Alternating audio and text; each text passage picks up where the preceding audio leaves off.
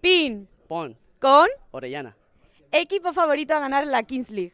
X Buller. Equipo sobrevalorado. Mm, El barrio. Equipo infravalorado. X Buller. Jugador de la Liga Española que te gustaría que fuera tu compañero. Benzema. Jugador de otro equipo de la Kings League que te gustaría que fuera tu compañero. Bueno.